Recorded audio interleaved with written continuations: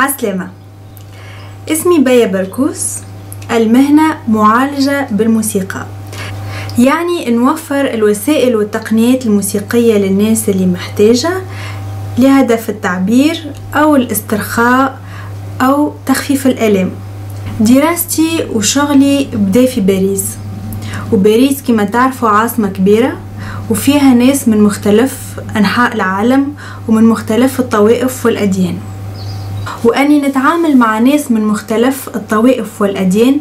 خلاني نكتشف أن الموسيقى حاضرة في جميع الأديان السماوية وغير السماوية. وخلاني نفكر في حاجة الإنسان إلى الصوت والغناء للدعاء. في الفيديو هذا حضرت لكم بعض الأمثلة اللي تبرز حضور الموسيقى في مختلف الديانات في الديانة اليهودية النداء للصلاة يكون في النفخ في بوق اللي هو على شكل قرن.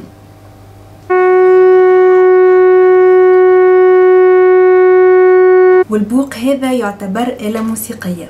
أما في الديانة المسيحية فالنداء للصلاة يتم عبر الناقوس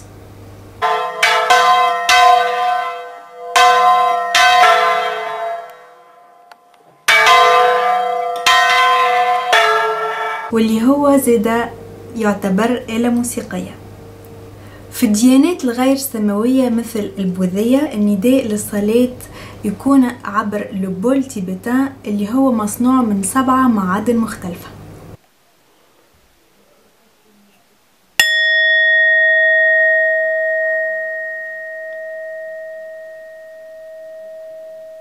أما في الإسلام فالنداء للصلاة يتم عبر الصوت. وكانت تفكروا في فيديو سابق حكيت لكم اللي الصوت يعتبر أول آلة موسيقية متكون من الرئتين اللي هما الهواء من الحبال الصوتية اللي هما الأوتار ومن الفم اللي هو لاكاس دي ريزونانس. الله أكبر الله أكبر. أشهد أن لا إله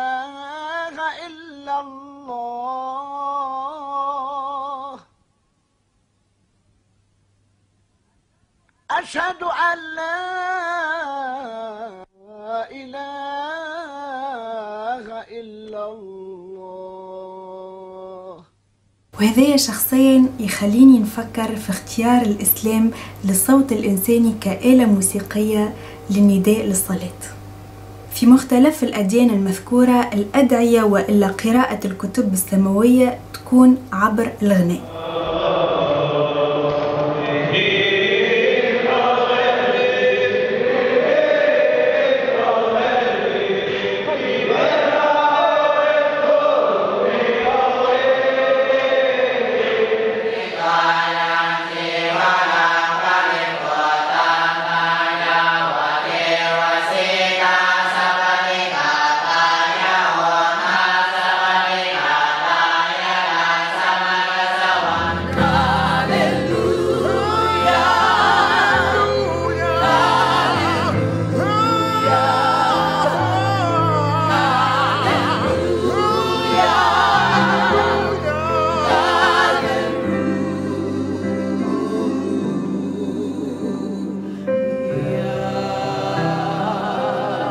والضحى والليل إذا سجى ما ودعك ربك وما قلى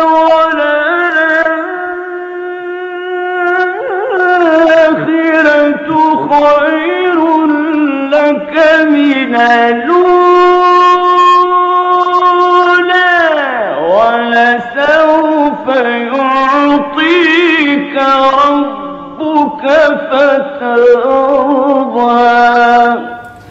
وكأنه الإنسان مهما كانت ديانته محتاج للصوت ومحتاج للغناء كمناجاة وكوسيلة للتواصل مع الخالق. كل مناسبة دينية هي فرصة باش الإنسان يتأمل في الكون وفي طاقاته وفي النعم اللي عطاهنا ربي. الموسيقى غذاء للروح والدين شفاء للروح. كل عام وأنتم بخير. زاد النبي وفرحنا بيه الصلاة عليه. يا عاشقين رسول الله صلوا